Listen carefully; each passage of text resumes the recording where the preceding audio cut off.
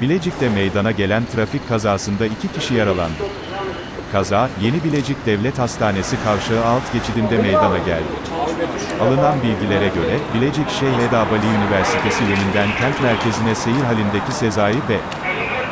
Yönetimindeki 11T0024 plakalı taksi, alt geçide geldiği esnada ışık ihlali yaptığı iddia edilen Zübeyde S. İdaresindeki 11AA H307 plakalı otomobille çarpmıştı.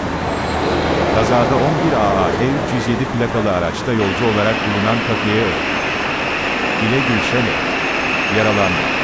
Yaralılar olay yerine gelen 112 acil servis ekiplerince yapılan ilk müdahalenin ardından Bilecik Devlet Hastanesi'ne kaldırıldı.